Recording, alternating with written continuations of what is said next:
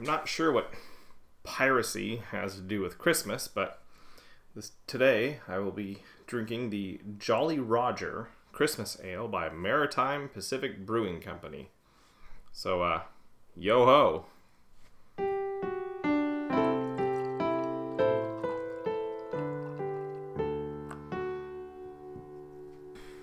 Well, hey again, and welcome to another episode of Chewing the Brew. I did not know if I've had another Maritime Pacific Brewing Company beer. I'm pretty sure I've had Jolly Roger once before. It's ringing the bell. I haven't checked my uh, Untappd list to see if that's the case, but I'm pretty sure I have. Um, it is a Christmas ale, so going into what I've talked about before regarding these, um, I anticipate it to be a uh, a relatively high proof um, warming winter ale with possibly some iconic Christmas flavors built into it, baked into it, brewed into it. And from the ABV, it is a 9.5. So definitely the proof levels on the on the, the winter warmer side. Uh, pouring it, it comes out maybe a little bit lighter than some of the other beers we've had. Also, very little head, kind of akin to the um um. Oh, what was the other one? Oh, the the Ommegang, I want to say. No, no, the Ommegang was one that was over overly. Um, I can't remember. There was one one of the Christmas beers that poured with very little head. Uh, anyway, so yeah, really really thin head. Um, it's hung around, and you can get it to come back a little bit, but it's not voluminous by any stretch. Uh, so it's a it's a brown ale or maybe a, an amber ale. It lacks a lot of the red tones that some of the other ambers have had. Uh, but, you know, it's just a pretty standard uh, dark ale there. Smell wise, I'm picking up warm, warm spices just off the get go. Or from the get go. Off the off the start. Let's mix my metaphors into one big mash.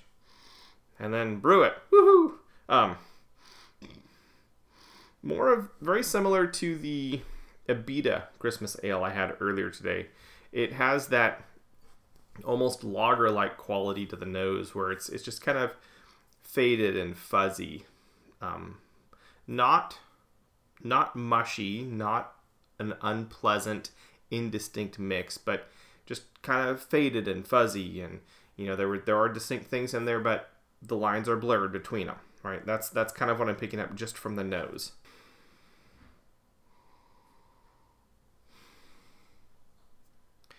Yeah, I'm, I'm not sure I'd even be able to, if you put uh, the Abita Christmas Ale and the Jolly Roger together, like side by side, blind tasting, I'm not sure I could smell the difference. It has a lot of the same kind of malty, mellow flavors, flavors, uh, smells to the nose.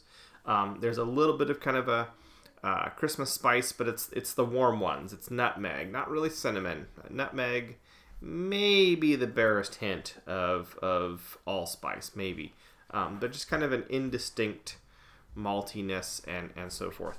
Let's uh give it a taste and see how that stands up.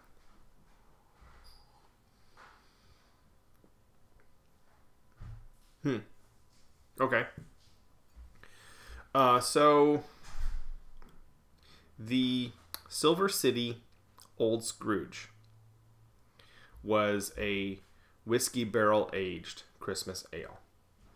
The Abita was just a Christmas ale.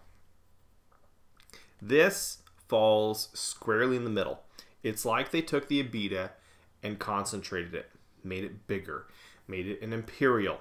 Um, so the the higher ABV, so there's a, a bit more sweetness here.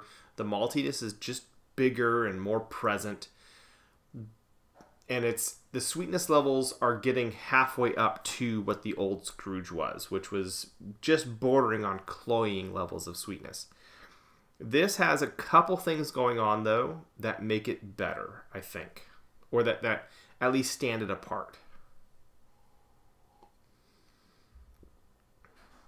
So, I don't know if I've posted, like, I don't really know the order that I post these things in uh, before I post them. Well, I have an idea, but you can check and see. You look at the you know, beer review number, and that's the order that I've recorded them in, not the order that I've posted them in. So sometimes I do post them out of order. Anyways, in the Abita beer review video, I talk about how the roasted malts have produced this toasty and roasty, almost burnt toast approaching flavors in there, in that beer. In this, that kind of imperial up to 11 amped volume has done the same thing for the roasty character of the Jolly Roger beer. Uh, but it produces more of a um, uh, toasted marshmallow slash coffee ground, like ground coffee uh, flavor in here. So it's it's more distinct. It's a more prominent flavor note, I think.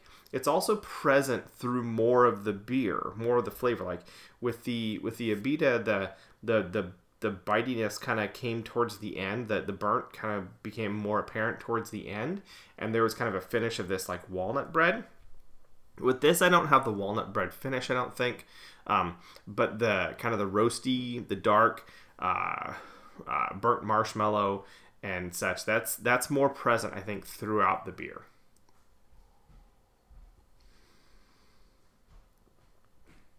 So what you end up with is this maple syrup sweetness, um, light maple syrup. Like the maple isn't super strong. It's just, it's not honey. It's not sugar. It's it's a little bit different different direction than those two. Um, so this kind of I'm gonna call it maple syrup. This maple syrup sweetness, or maybe butter syrup. No, it's not butter syrup. Yeah, maple syrup's the best. This maple syrup sweetness that kind of goes through. It's it's bigger at the front, and then that that kind of fades slowly, but it's present the entire time the beer's in your mouth.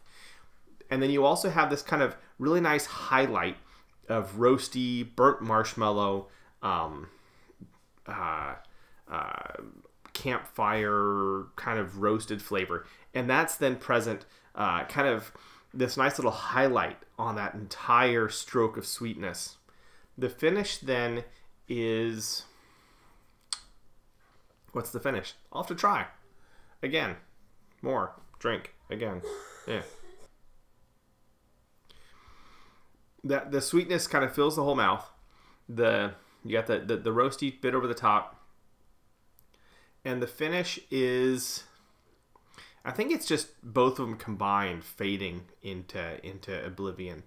Um, it's it's a long finish. This is hanging around for 10, 15, 20 seconds. Um, and I think typically the sweetness in these beers, in my experience, fades sooner than the bitterness. And I think the surprising thing about this is how long the sweetness lasts, which gives it almost a, a thickness to the syrup character of this beer, which is quite interesting. Um, this is this is a good beer. I think I would pick this over the old Scrooge, mostly because it's a lot less sweet than the old Scrooge. Um, if if sweet beers are your thing, Silver City's Old Scrooge whiskey oak barrel aged Christmas ale is super sweet and and really really nice, really good.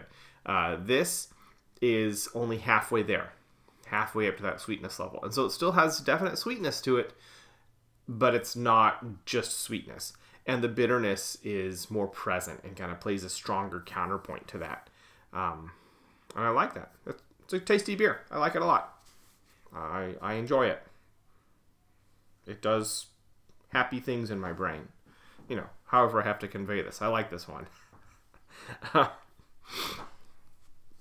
it's I think a simpler beer than the Abita Christmas Ale.